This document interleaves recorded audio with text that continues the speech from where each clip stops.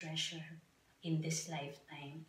So you see, um, all those kids, they would they would recite Bible verses to me, and then they also prayed for me. They brought me to Sunday church. Um, they are actually um, active members of, let me find that church, Baptist Church, Fernie.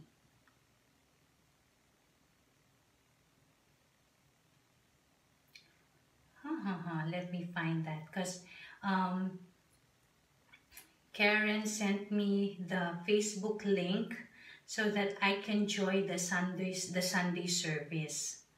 So they are they are a member of First Baptist Church for Forney. So this is it. If you want to if you want to um, to search for it on Facebook. So they do live Sunday service. So um, so in a way, I was again after the depression phase.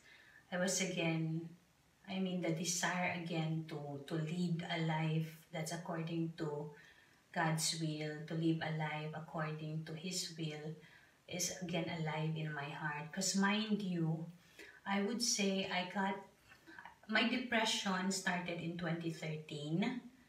Um, that's all piled up when I lost my mom, my number one confidant. Um, when I was burdened by the financial um, obligations that was left from all the expenses, the funeral, the medical expenses of my mom who had cancer and who, who lost her battle to cancer. So the financial difficulties, and then I felt so alone because I'm, I'm not sharing my thoughts, my, my problems to anyone else rather than my mom and I lost her. So like the, the, the support group, the only support group that I had, I lost. Plus, the very stressful environment I had in my career because I was a manager and like my my progression in in the corporate ladder was really very fast and I was like like I was getting I was getting promoted every every one two years.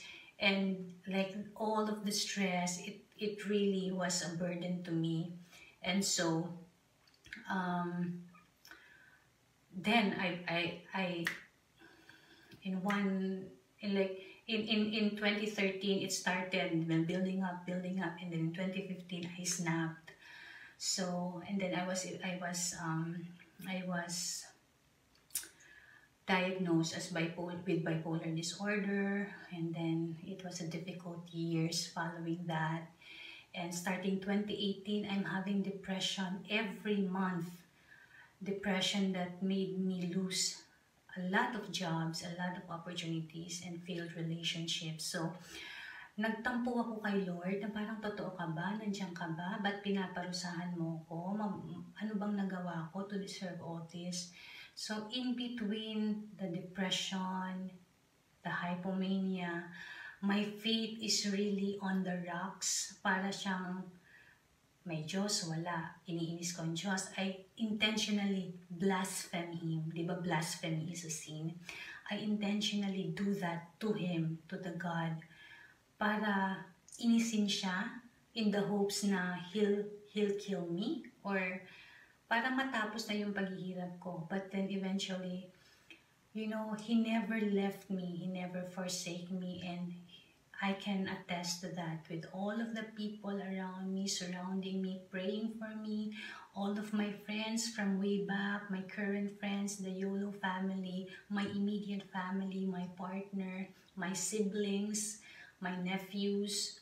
So lahat ng mga, ng mga taong yan, they kept me in their prayers, in their minds, in their thoughts. And so, talagang mabuti si Lord, napakabait niya.